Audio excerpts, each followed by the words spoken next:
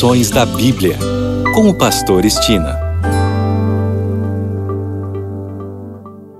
Olá, este é o seu programa Lições da Bíblia. Neste trimestre, que vai até o final do mês de setembro, estamos estudando o Evangelho de Marcos. O assunto desta semana: os últimos dias.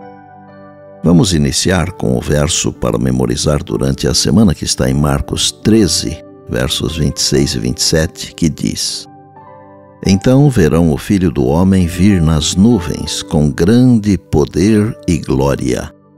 E ele enviará os anjos e reunirá os seus escolhidos dos quatro ventos, da extremidade da terra até a extremidade do céu. A lição desta semana começa com a oferta da viúva pobre, que está no final do capítulo 12, mas a parte principal da lição, no entanto, trata de Marcos capítulo 13, uma profecia sobre o destino do Templo de Jerusalém e também a segunda vinda de Cristo. Marcos 13 deixa claro que o cumprimento das profecias vai do tempo do profeta que a fez, nesse caso Jesus, até o tempo do fim, concluindo com a segunda vinda de Cristo. Esse padrão segue o que é conhecido como interpretação historicista das profecias a respeito do fim. Isso está em oposição às tentativas de situar o cumprimento dessas profecias exclusivamente no passado ou exclusivamente no futuro. Utilizando-se o método historicista de interpretação profética, que, no meu entender, é o método correto, chega-se à conclusão de que o cumprimento das profecias se dá ao longo da história culminando com o estabelecimento do reino de Deus.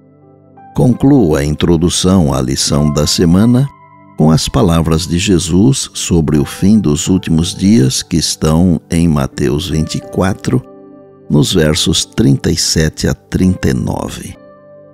Jesus disse assim: Pois assim como foi nos dias de Noé, assim será também a vinda do Filho do Homem. Pois assim como nos dias anteriores ao dilúvio comiam e bebiam, casavam e davam-se em casamento, até o dia em que Noé entrou na arca e não o perceberam, até que veio o dilúvio e os levou a todos. Assim será também a vinda do Filho do Homem.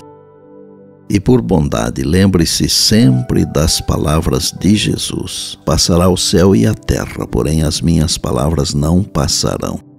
Eis que venho sem demora. E lembre-se que a voz é nossa, mas a palavra é de Deus.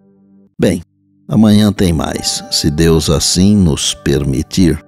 E disse Jesus: Examinais as Escrituras, porque julgais ter nelas a vida eterna e são elas mesmas que testificam de mim. João 5,39. Eu sou o Pastor Estina e este é o seu programa Lições da Bíblia, diariamente com você pela graça e misericórdia de Deus.